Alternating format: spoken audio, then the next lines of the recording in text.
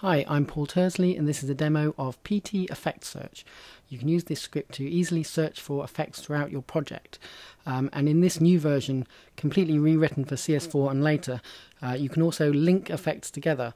Uh, so you can create cloned effects instances. So uh, one effect in your project can be used to control multiple copies of that effect throughout your project. So the uh, instructions for installing the script are included with the download. Um, I'm running on CS5 here, and I actually recommend not installing as a dockable panel on CS5. Uh, you can actually install either way, but there are some minor um, UI issues with the um, progress bars not updating properly if you run as a dockable panel. So uh, i have installed it in the scripts folder, and I'm going to uh, launch it from there. So um, here we have the script. Uh, there's uh, instructions there are links to the page on aescripts.com, a bunch of search options, and uh, some more options down here which we'll get to soon. So I've got a project, uh, dug out an old project um, full of effects. And uh, so we're going to do a search here and um, you've got options for searching in uh, all comps, current comp, project selection. Project selection would be uh, whatever you've got selected over there. Um, you can choose whether you're finding effects that are on or off, or built-in or third-party effects, um, and sort by effect or layer. Um, but I'm just going to do a search for all the effects in my project. And it says here it's found 690 effects in 260 compositions. So um, as you can see, that's pretty pretty fast. And here are all 690 effects uh, in the in the project, um, currently displayed in uh, alphabetical order. Um, we have uh, icons here showing uh, if the effects are turned on, uh, if the layers are turned on. We've got the effect name, the um, composition, the layer, uh, and also the in internal uh, match name, which is kind of Adobe's kind of slightly hidden kind of built-in names for the effects.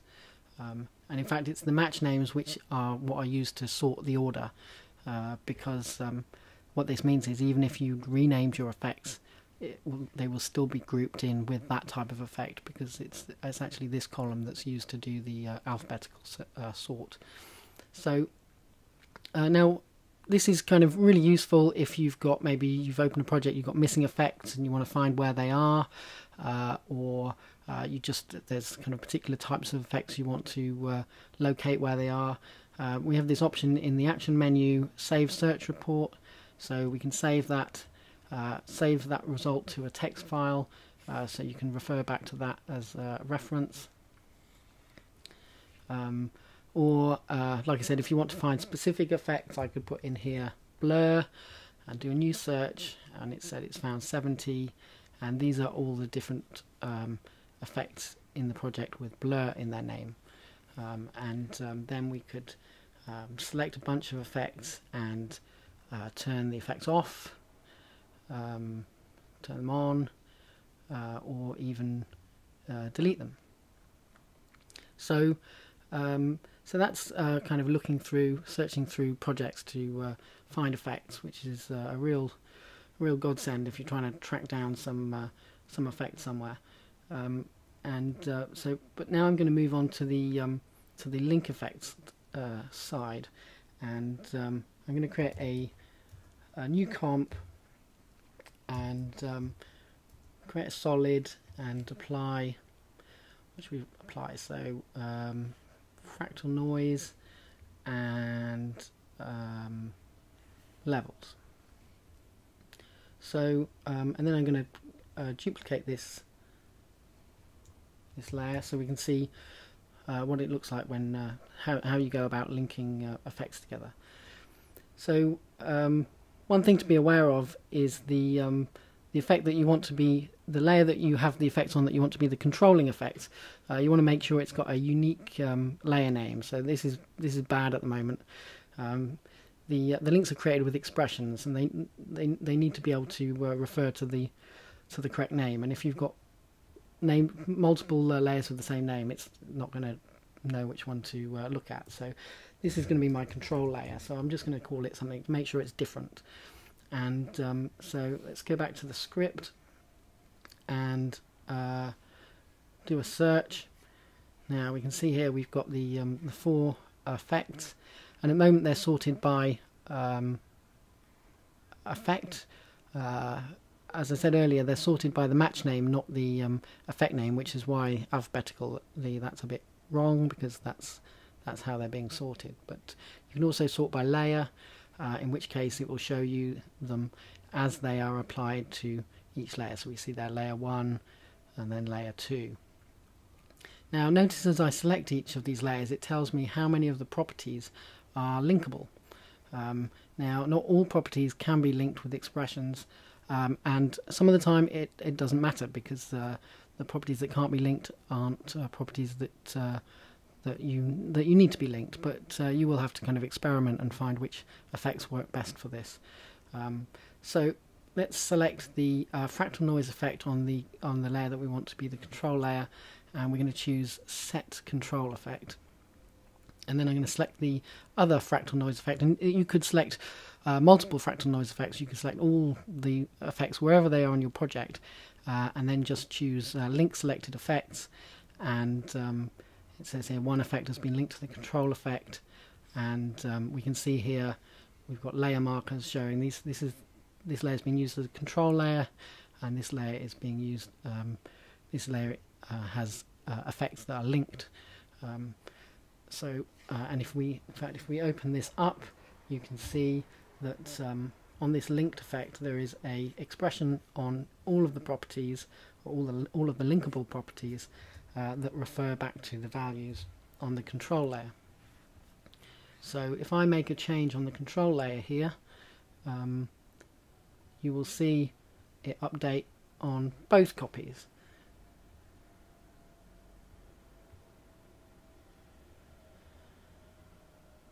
So, because uh, this layer has um, effects that are, the effect is linked to the one on the control layer. So let's do the same thing with levels. Now, uh, levels, it says here, two of nine properties are linkable. That doesn't sound very good. And um, so I'll select the um, levels here and choose set control effect uh, and then select the other levels and link selected effects. Now if I change the um, change the control on the control levels let's see what happens. Nothing. Well nothing happens on the linked effect and this is because unfortunately levels is uh, one of these effects that will not link well because the um, this histogram property is, a, is what's called a custom data value um, so unfortunately, levels doesn't work so well. In fact, the only things you can link on levels are, are these two uh, these two pull downs at the bottom, which you know is not very not very useful.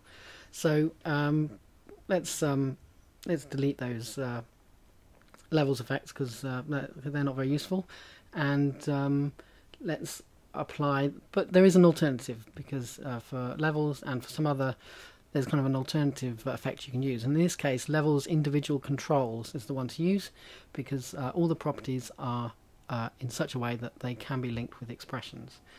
So, um, in fact, I've applied that to the wrong layer. I want to apply this to the control layer.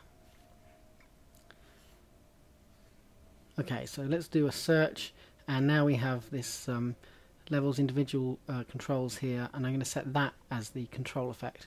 Now, this time, I'm not even going to uh, I haven't applied it to the other layer yet, but I'm just going to select this other layer and I'm going to choose add to selected layers.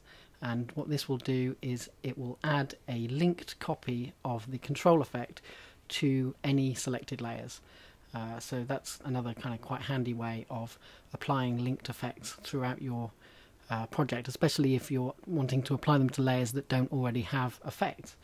So now um, we have uh, now if we change this uh, the uh, levels on this control layer you can see that uh, the other layer matches uh, so levels individual controls does work with um, with linked effects so um, and then just to show you um, kind of that again. Uh, I could um, let's create another comp.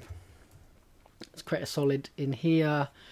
Um, and I'm going to go back and select the uh, fractal noise on the control layer, choose set control effect, and then with this selected I'm going to hit add to selected layers.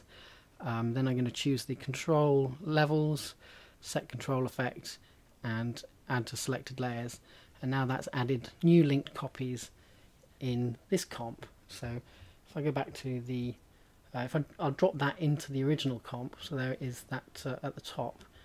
And uh, if we go back to the control layer and uh, make some changes you can see that that's now that that um, those effects in a in the pre-comp are now also uh, linked. So you can link effects throughout your project